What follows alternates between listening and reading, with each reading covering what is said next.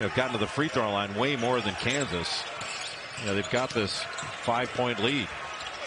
Wilson continues to work. Big guys away from the basket and then attack. Wilson, so many different moves. What a follow by McCullar. Neither team shot the ball well, and they've had some open shots.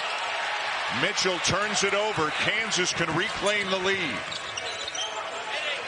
Gradey Dick for three. Yes! His first points of the second half. And get a good shot here.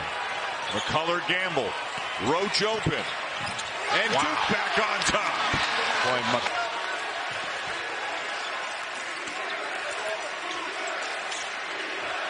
Up top. Oh. And Gradey Dick lays it in. The By Gradey Dick. Ninth assist of the night for Harris. Offensive. Back out. When Kansas has moved it from side to side, they've had some opportunities. Wow, what a play. Gradey Dick with three. Going on here.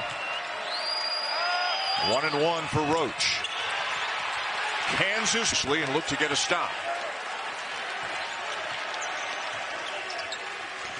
Adams. And one. Boy, what a beautiful pass. And again, the middle of the floor, that middle third, Kansas team. That middle middle ball screen set by KJ Adams and then was able to absorb the 20 seconds to go. Roach looking for the quick bucket and he'll get it. Boy, what a, yeah, what a power through take. color. Free throw blockouts become big. Right away. Get it down court and get it to the rim. Proctor. He'll take a three. Filipowski down with it.